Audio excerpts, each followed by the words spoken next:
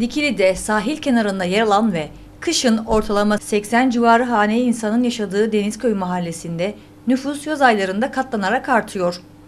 Akmayan bu suyumuz. 15 gündür 20 gündür su gelmiyor. Su kaynaklarının yetersizliğinin yanı sıra sıcakta artan tüketimle şebeke basıncının düşmesi nedeniyle mahalleye düzenli olarak su verilemiyor. Bazı bölgelerde var olan su buraya hiç gelmiyor.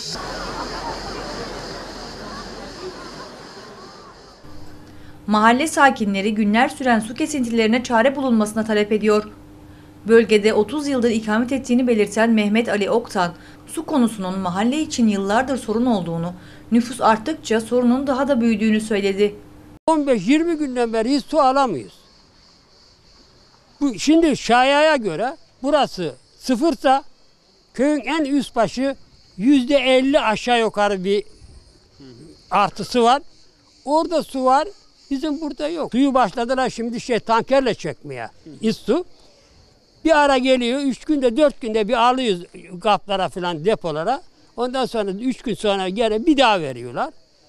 Onun için çok zor durumdayız ya. eşit olarak faydalanmak. Burada bir adil dağıtım yok. Su sistemin dağıtım sisteminde bir arıza var veya hata var veya bir yanlışlık var. Ben bunun giderilmesini taraf Köyün tarafım. yarısı nasıl gelmiyor? Yarısına oyun oynadığım arkadaş benim 24 saat şakır şakır suyum akıyor diyor. Bana 10 günde su gelmiyor. Buraya her gün 10-12 tane tankerle su geliyor. Ortalama 250 ton civarında su geldiği söyleniyor. Ancak buranın dağıtım şebekesinde bir sorun olduğunu zannediyoruz. Çünkü bazı sol bölgelere su giderken sağ bölgelere, köyün sağ bölgesine hiç su gelmiyor. Ortalama bir ay gelmediği gibi oluyor. Bayramla birlikte sular kesildi. 12 gün bayramda susuz kaldık. Ee, şimdi de 10 gündür susuzuz. Bu arada tabii su almak zorunda kaldık. E çocuğu olan var. Evet, bebeği evet. Bebeği olan var, hastası olan var.